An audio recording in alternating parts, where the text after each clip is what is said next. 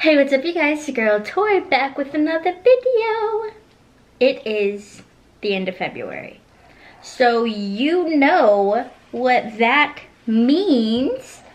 That means it is time for the monthly what I read this month video rating and review. Oh, I'm so excited. So this month I actually read four books. So let's just Good job, Tori. Like, mm. Anyways, y'all don't really care about this intro portion. So let's just get straight into the ratings and reviews.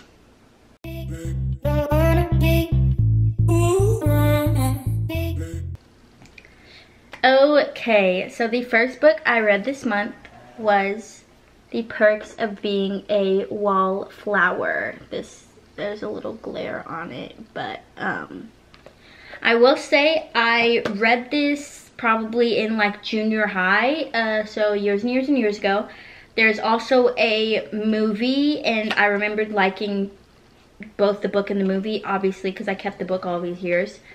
Um, this book is, it's good. It's good. It's heavy it's heavy. There are parts of it where I was just like, oh my gosh. Like, you just feel for the main character. Um, and the thing that, you know, right from the beginning, I was like, I know I'm gonna like this book because it's actually written in like letters. Like, it's written like, you know, the date and then, you know, it has him like signing off.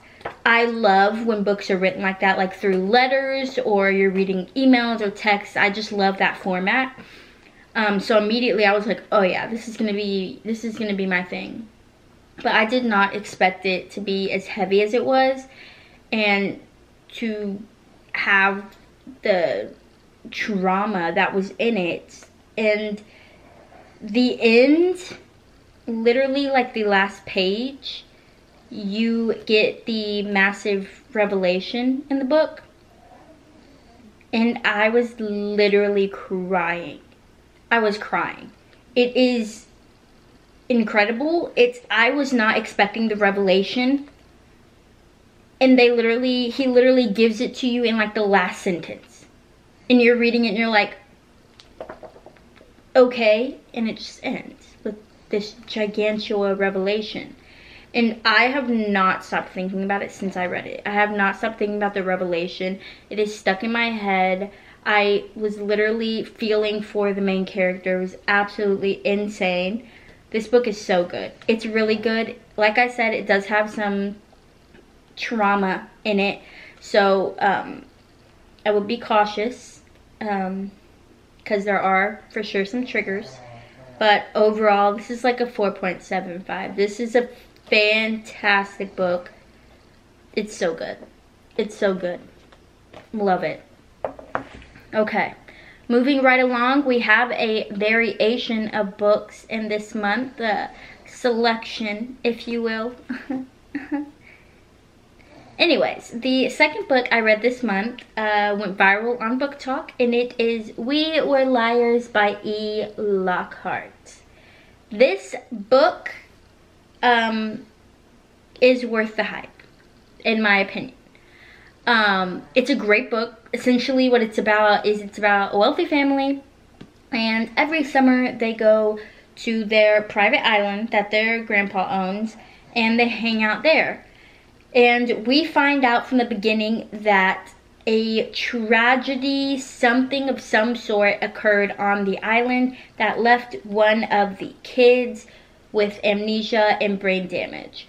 So this is, follows her um, along her trying to remember what occurred on the island and it just follows her as she tries to piece the story back together.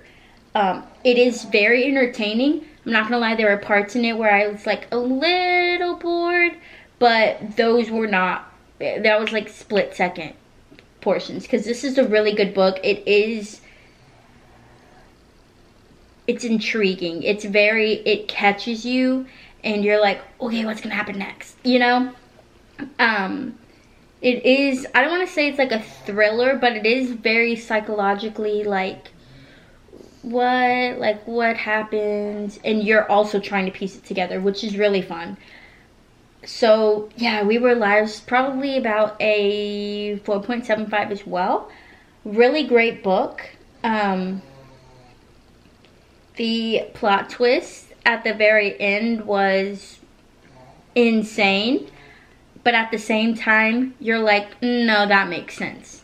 And then you're like, oh, all of the book like clicks together and you're like, dang, how did I not see that? You know, it's one of those. Um, great book, 4.75. I do highly recommend it. It was worth the hype. BookTok, book talk, BookTok. Good job. You did great. All right. Next my favorite book of this month. not even gonna lie to you. The first book in the selection series. Mmm, this is just, mmm, mmm. Cass just knows how to write a book. I will say, full disclosure, I love me a romance book. Love it. You know what I love more than a romance book? A romance book that has the regular Joe Schmo or Josephina Schmo, what, uh, the regular average person falling in love with a famous person, a royal, someone of higher status than them. Live for those kinds of books. Love them. Mwah. Love it so much. Give it to me, give it to me. All the books like that, all the movies like that, we love it. The selection is that. And literally, when I was reading it, the first thing I thought of was, this is kind of like the Hunger Games, but like with no death and like not really too much suffering, you know? It's fun. It is so fun. The main character is America Singer and in this world there is a caste system and she is not, you know, the poorest of the poor, but she is lower. Um, I believe she's like a five and there's like a total of eight castes, I think. So essentially what it is is in this universe the prince needs to find a wife. And they go about that by doing a selection which essentially is the girls from all over the town no matter the caste anybody can do it. They like apply to be the prince's wife. And once they apply i believe it's 35 that get chosen and they go and they live in the castle and it's kind of like The Bachelor, where the prince is like going through and trying to pick them, and girls go get like ow, and then like some stay. Really, really fun. Um, and this just follows the uh, main character, America Singer, as she, um, from the beginning, very obviously thinks this whole thing is stupid, but for certain reasons, she ends up applying and she gets chosen to go and this is just follows her going through the selection um so fun. Literally this is like almost five it's like a 4.99 like this is so good. I literally wanted to go buy the second book but i don't have money. Um oh i love this book so much. Good job. Good job here oh so good. I love it. I could talk about it all day. We love it. We love it. Okay, my camera died, but I'm back with the last book, Geekerella by Ashley Poston. Look at that shine, yes. She's an icon, she's a legend, and she is the moment. Beautiful cover, love it already. Um, I'm just a fan of literally any Cinderella spinoff. Uh, always have been since I was little. So I was already like, ooh, you got me. Um, and surprise, surprise, it's about an ordinary girl falling in love with a superstar. and as I literally just told you, I love that trope. Is it a trope? It's not, it should be. But I live for that. I live for that. So Geekerella is pretty much, it's about a girl called Elle. Not me just now realizing it's L as in Cinderella and she loves the show Starfield and the a guy called Darien is set to play him. And there's a cosplay concert, concert, not a concert, girl. There's a cosplay contest. And the winner gets to meet Mr. Darien. So, she's getting all dressed up. She's not too, like, into, like, meeting Darien. Like, she doesn't really care. Um, but they end up meeting through text. Although, neither one of them knows it. So this is just pretty much just follows them meeting, not knowing they're talking to each other, falling in love with each other, and then all of the like Cinderella-esque moments. Um, it's really good. It also, it has a little bit of a tearjerker part in it. Like I literally came out and I was crying. I was like, this is so sweet. I just literally like, I'm tearing up just thinking about it. It has some good, there's some good emotion in this book. The writing is good. The writing is to the point where you're like, ooh. Like the character you're supposed to hate, you hate. The character you're supposed to love, you love. So the writing is absolutely fabulous. I want this to be a movie so bad. Because in my head, the way I read books, I already kind of play it like a movie. And the movie going on in my head while you was reading that was a great movie.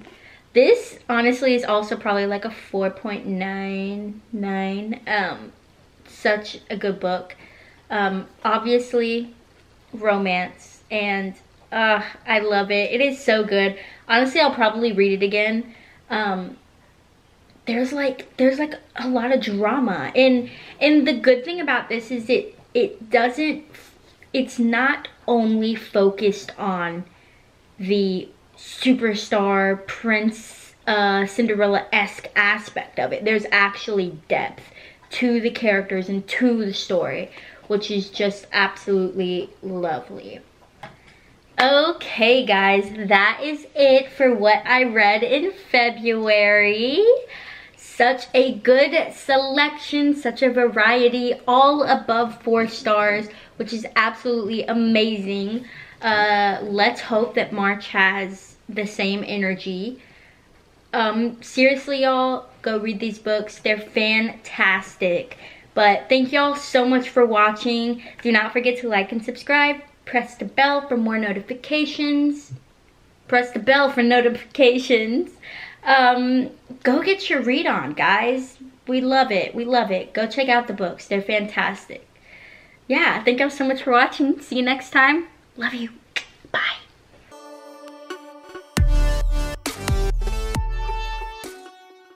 Sparkly.